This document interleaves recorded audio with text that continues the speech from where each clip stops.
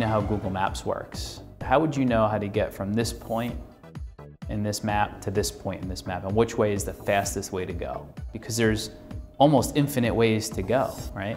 And, and we solve problems like that. If you're somebody who has always loved math and science, who likes using their brain in a very cerebral way, but sees themselves in a career that is in business, that isn't just kind of being an engineer and solving analytical problems all day, but wants to really apply those things to the business world.